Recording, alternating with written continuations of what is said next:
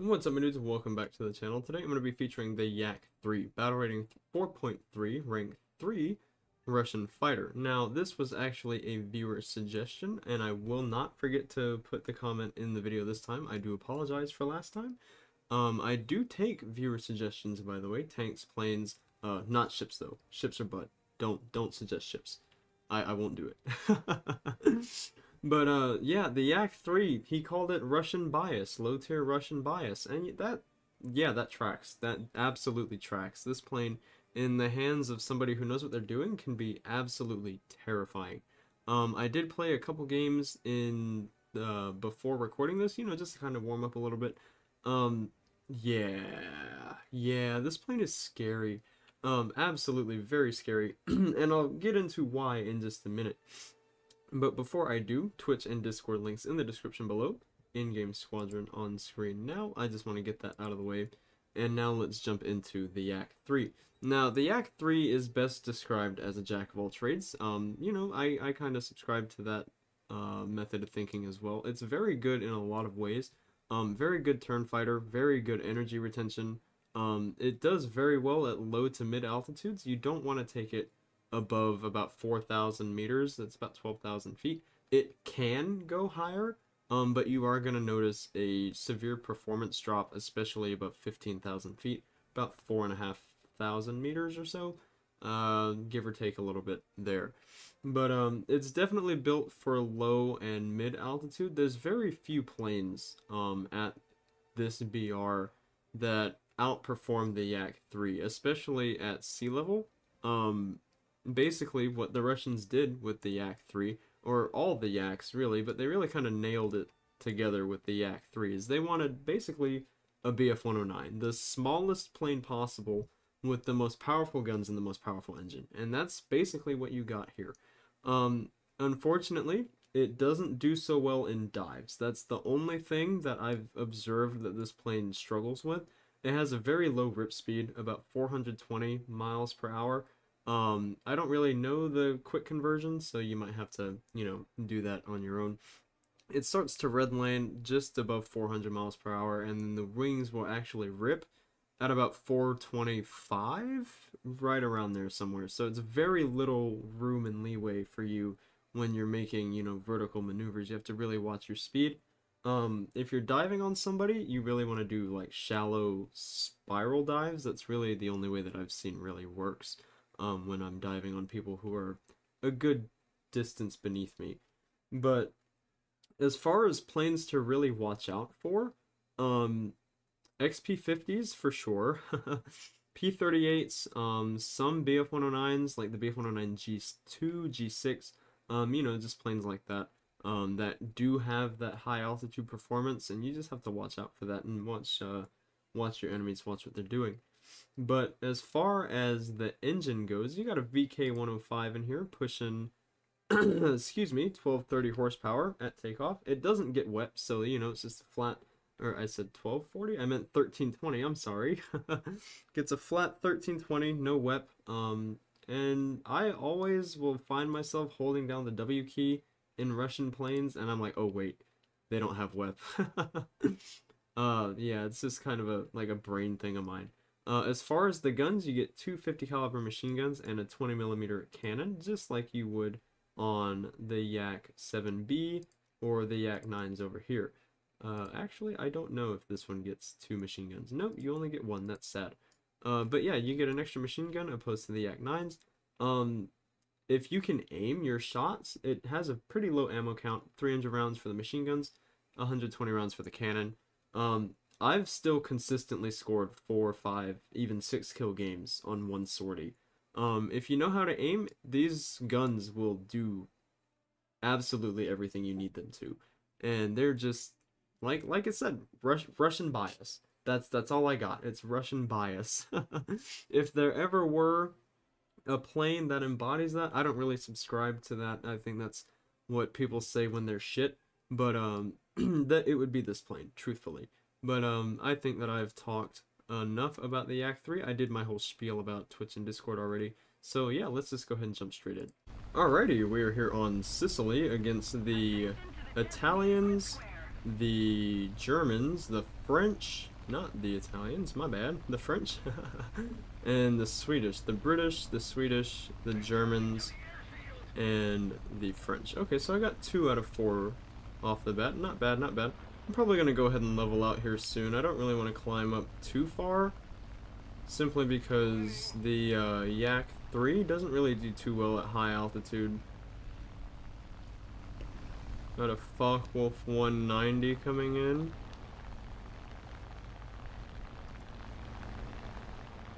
Alright, let's be smart about this.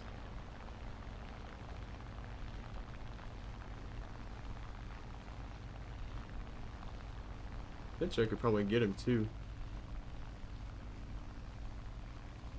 I'm just gonna shadow this guy. There's no way he doesn't see me. There's a whole lot of them. Yep, there he goes, turning. I don't know why he turned into me.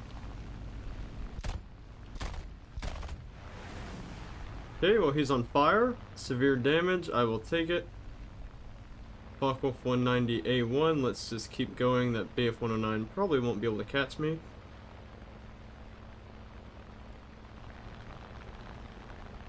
Oh, good stuff, Mr. BF-109. Alright, who is beneath me? Who's around me? Who's around me? J26 down on the deck. I don't really want to chase down a J26. Let's go after the Spitfire. Why not?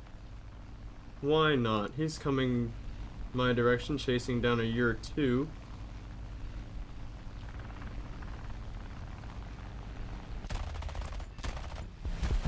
And you're dead.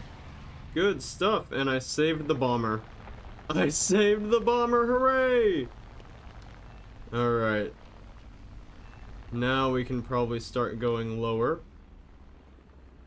How is that 190 still alive?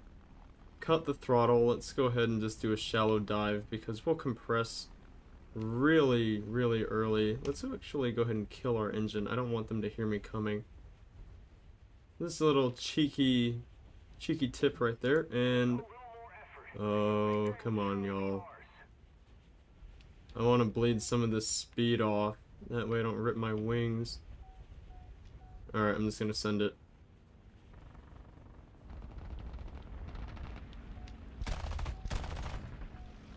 Yep, reduce speed. Don't compress, don't compress, don't compress. Alright, there's the 190. Let's turn our engine back on. Let's go after this VB-10. I distracted the 190 and I got him off the XP50.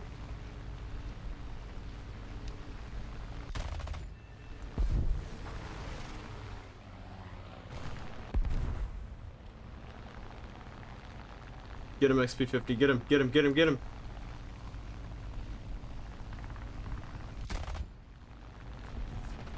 Couple hits, nothing crazy.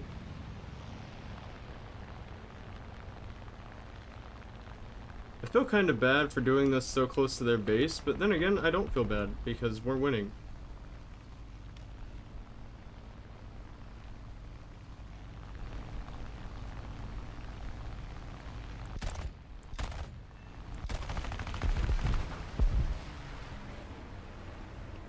Alright, let's keep going. We just have all these guys dead to rights. Do not die, XP50.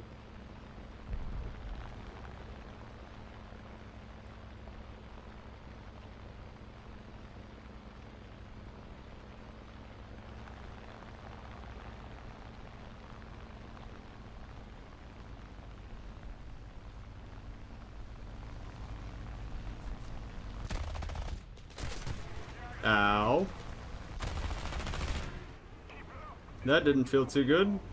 I'm on fire. I'd prefer it to go out. Oh, there goes my wing. Well, that's sad. Alright, got four, four kills. Oh my goodness, I wasn't even keeping track. That's crazy. Got an assist for the 190. I will take it. GG, boys. Alrighty, we are here on Zhang Zhao versus the Americans the Japanese KI-100 over there, and hmm, I saw it. I saw it. Italians. I was like, I know this. I'm. I know this. There's a B-25 over here. You know, he looks looks kind of tasty. I wouldn't normally go for bombers in the Yak 3 because it's got very limited ammo, but these guns are very punchy, so maybe. I'm gonna be 25, I bet you smoke good.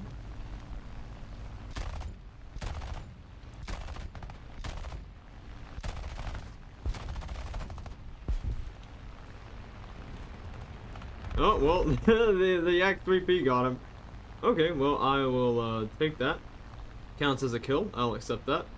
The Yak 3P is basically just a better version of me. He's got uh, three cannons, no, two cannons, I think. Either two or three. Either way, it's a scary boy. We're in a full up tier to 5-0.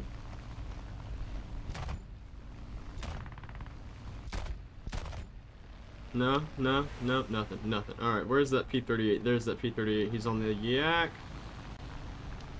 Alright, let's get this P-38.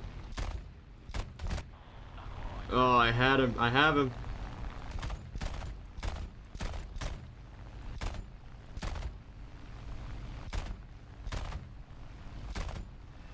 Alright. I have very little ammo left. Let's go see if we can't get the uh, the XP50 here. That P38's done.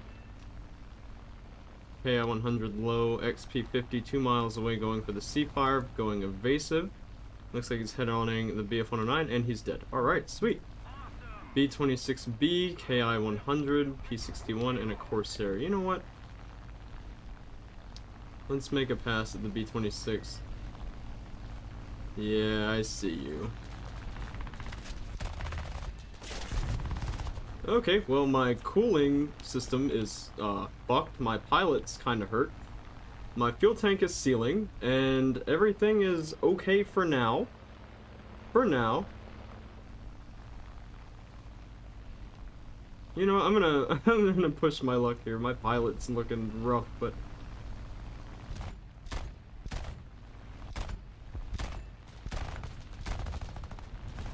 Alright! Don't hit me, don't hit me, don't hit me, don't hit me, don't hit me.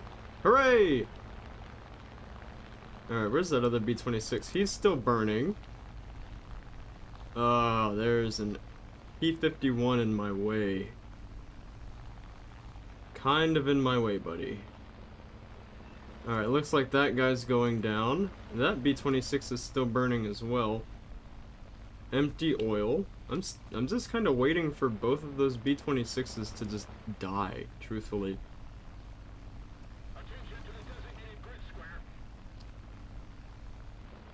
Severe damage? Okay. I don't know on which one. Look at him just go. I love that.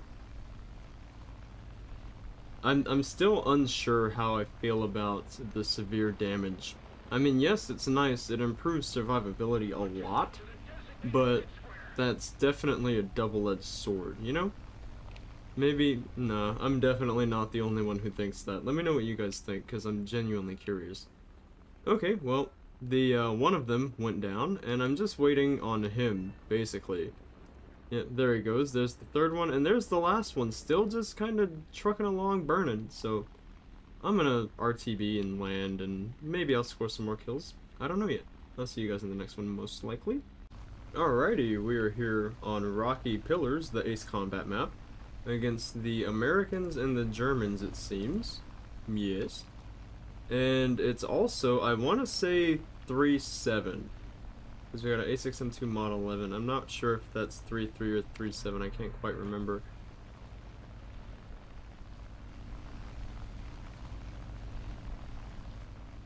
Alright, we got a BF-109 two miles away and a couple P-51s at altitude as well.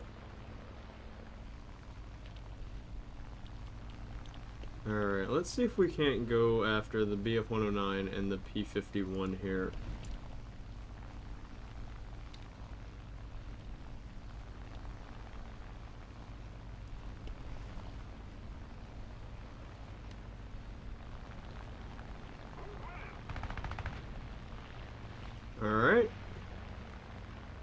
Let me see if I can get this P-51. I have him in an advantageous position now.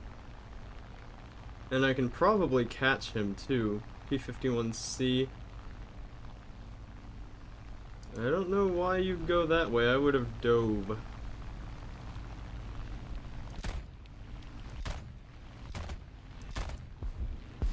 Alright, well that is a dead P-51, and the KI-100 got the BF-109. Absolutely delicious. A lot of B-25s, a lot of bombers. Got a BF-109 four miles away. P-47 on fire on the deck, very nice. XP-50, 6 o'clock high, lovely, love that. I'm just gonna call him out for the team so that way they know he's there. Let's go for this BF-109 here.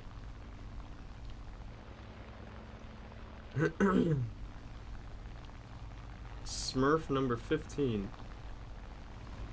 I wonder what the deal's been with people putting numbers in their names recently.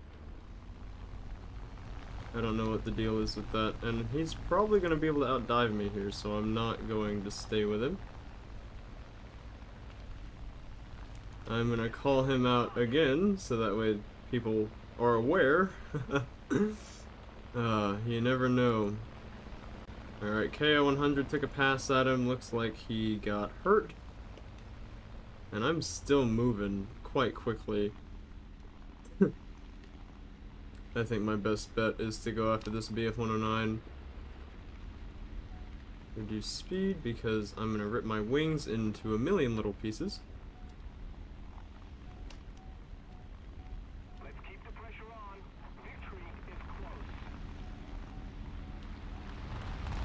Reduce speed, yeah, yeah, yeah.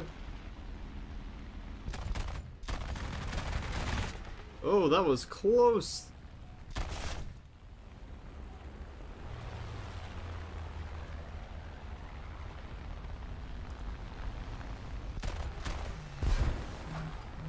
Absolutely beautiful. That was gorgeous. Two kills. Not bad, not bad. They have a lot of B-25s though, so I'm probably just gonna ground pound and see you guys back at the hangar. Alright my dudes, that's going to be it for today's video in the Yak 3. I hope you guys enjoyed. I most certainly absolutely did. Um, I, I forget just how busted the Yaks can be in the hands of a skilled pilot. And I frankly don't show them enough love. There's a whole lot of planes at the low mid tier range that I just don't give enough love to, man. I'm man, I I, I I'm I'm a bad I'm a bad plane parent. Shout out to all my bad plane parents out there. But uh no, for real. Um like I said at the beginning, if there were the an embodiment of the the idea of Russian bias, it would probably be the Yak 3 sitting here at 4.3. Um, very few planes that can match it uh, at low and mid altitudes. Um, and if you're at high altitudes, you're doing it wrong, quite frankly. Um, and it, it just has all the cards stacked in its favor. It's light, it has a super powerful engine, very punchy guns. Um, and once you add, you know, a pilot who knows what they're doing into the mix, it can be a devastating combination of factors that can just really tip the balance in your favor or in your team's favor. And really that that's all I have for the Yak 3. It's a great plane. Um go go show it some love. It loves you. It deserves love. Go feed it. Feed it feed it the souls of brainlet American pilots who don't know what they're doing. Do it. It demands food. Um no, but for real. Twitch and Discord links in the, in the description below. In-game squadron on screen one more time for those of you who in, who are interested. And I will see you guys in the next one. Peace out.